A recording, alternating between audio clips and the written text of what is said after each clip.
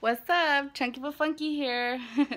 Just wanted to show you guys my outfit and tell you guys that I hope you all have a great, wonderful, beautiful um, Easter and I hope you guys share it with the people that you love and I hope you guys don't get in any drunk fights. You know, it's not about drinking, but if you do have a little drinky drink, make sure um you keep yourself under control because it's not like about partying and shit. It's about God and shit, you know what I mean? And did I just say shit? Lord, you know my heart. Lord Jesus, you know my heart. Like I didn't even mean it like that, Lord. You know, you know that I was you know, gr I grew up in an environment where they cuss. So sorry, Lord, you know. But just want to show you guys my outfit, my cute little dress. I found this at Forever 21 and I'm feeling so I'm feeling so cute today. But um despite the fact that like I'm feeling cute. I managed to get cute. I managed to make potato salad and I managed to deal with let me see three tantrums this morning from my little girl because she's you know, I haven't got her tested yet, but um, she's very hyperactive. I'm not saying like a lot of people like tell me, oh, she's normal. Like kids normally do that. I mean, maybe they do. My older daughter didn't do that. Every kid is different, but this little girl, she's, whew. So, yeah, I made potato salad. The potato salad is in the fridge right there. Let me see if I could get it. There's a potato salad. And yeah, I just want to tell you guys happy Easter. I love you guys so very much and I can't wait to do more videos. Like I really love videos so much. And um here she comes. I'm so scared i swear. Every time i hear her coming down the stairs i get so scared and get so scared. Hi baby she just had a tantrum right now. Oh my god. So her dad was supposed to go pick up um my little brother. I have a little brother because my mom and can you lower baby? My mom and my dad had a baby um at a later age so so my little brother is closer to like my kid's age. So we want to go pick him up because he's gonna go with us.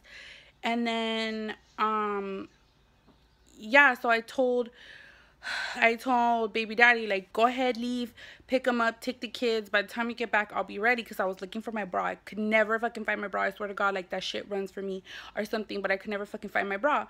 So, um, so he took the kids, but he always has to bring her back. Like, he always has to bring the little one back, and I'm gonna talk in front of her. And I know she could hear me because she's sitting right there she always throws a tantrum in the car. We tell her, okay, like she's good before we get in the car. Like, oh, you know, she's all good. Like, I'm going to behave and stuff.